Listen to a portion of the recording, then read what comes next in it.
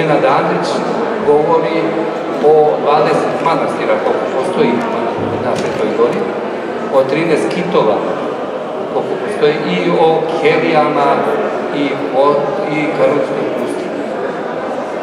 Nenad je u ovoj o manastirima istakao posebno značaj srpske crkve, srpskih vladara i srpskih ravnomoža na koji način kako su osnovali ti manastiri.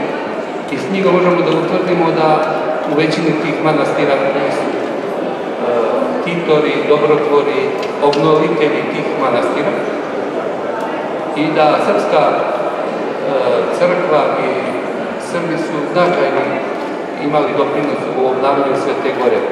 Zato, mon, zato hodočasnici su rado viđeni, Srbi kao hodočasnici su rado viđeni na Svetoj Gori. E, druga knjiga je zbirka priča svetogorskih mudraca.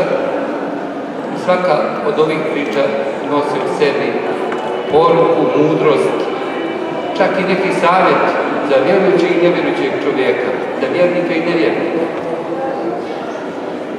E, Nenad je na svojevrstan način prenio mudre riječi tih mudraca koji odvojišu svoj život za svetu goru, za svoju vjeru, za svoj narod.